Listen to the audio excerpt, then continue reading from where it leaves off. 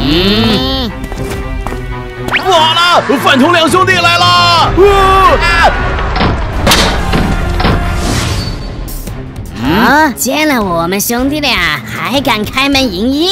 那就给年轻的老板上一课。嗯，老板，有人来砸场子。服务员，饮料怎么就没了？赶紧补啊！嗯，哎，没见过饭量大的。嘿嘿。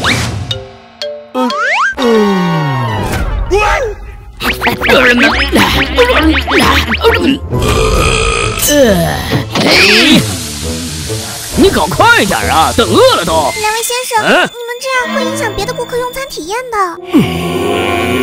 怎么，你们开自助餐的碰上饭量大的就玩不起了？小四，我哥可是大网红，相信我们直播曝光率。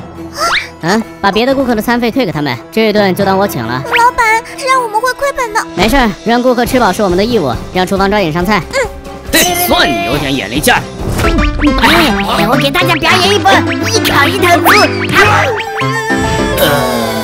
你们这是长期暴饮暴食导致的三高，平时一定得加强运动。怎么是你？